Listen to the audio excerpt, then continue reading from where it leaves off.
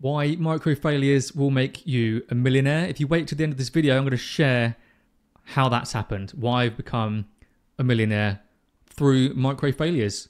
So, to kind of bring it all back to the beginning, what I found when I was first starting out in business is you expect and anticipate to get a plan, you get started with that plan, and you'll be successful. However, I've been doing this for over a decade now, and it's simply not the case.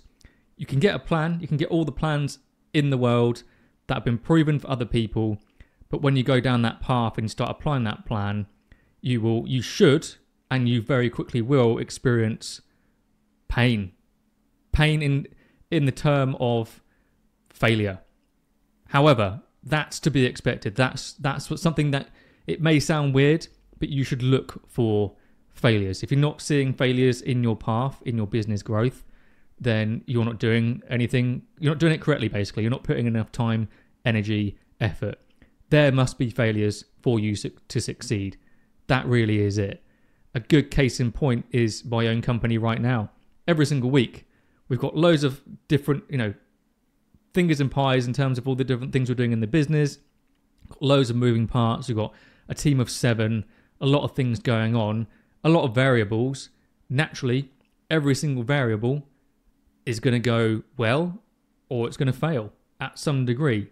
And it's those failures that are keep pushing us forwards because we find something that works, it then stops working, we fix that failure, and then it goes back up and starts producing again. That is it. That's the nature of the beast. You must be doing enough in your business to see failures, and then it's what you do when you see those failures that literally will make or break you. Like if you're not willing to push through the barriers in terms of all those continuous failures, then you don't deserve to be successful. That really is it. It's it's it can be a slog, it can be a grind.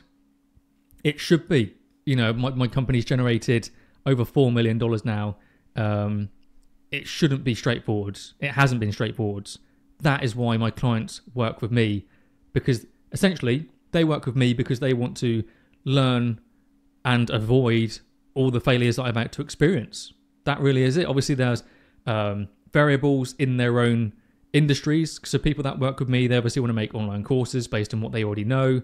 There will always be industry specific hurdles and things that they will find that are going to briefly fail, but then they can obviously get recalibration with me, overcome those failures, and keep moving forwards.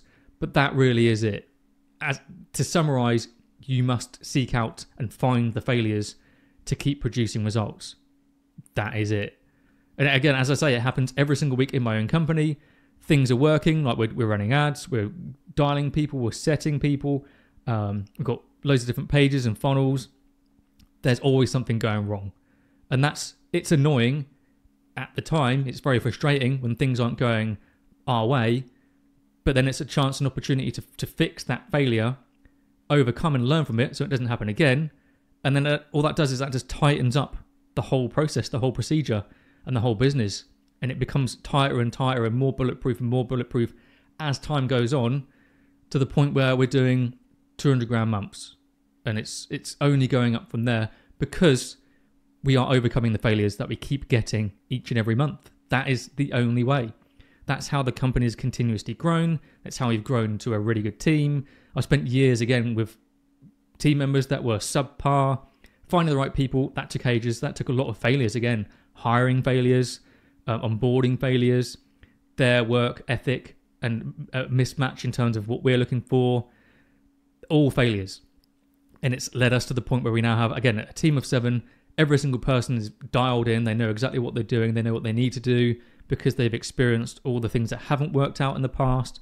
We've able to instill that in them moving forwards. That really is it. So, if you're just getting started in business and you don't know what to do, or you're scared of failing, uh, scared of failing, good. You should be. It will happen. And you have to learn how to adapt and overcome it to move forwards. If you're not willing to put in the work, not willing to put in the time, don't bother. To be honest, get out of here. Just go and watch any old bollocks on YouTube, uh, cat fails, whatever, and just forget about entrepreneurship. However, if you're willing to dig deep, put in the time and put in the effort, you've seen what happens.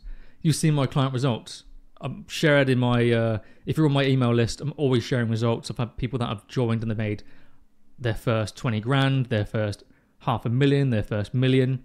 I'm sharing results each and every week because they are joining the program, they're doing the work, they overcome, well, they, they achieve fails, minute fails in their business, but they come to me, I've already experienced those failures, I help them get back on track.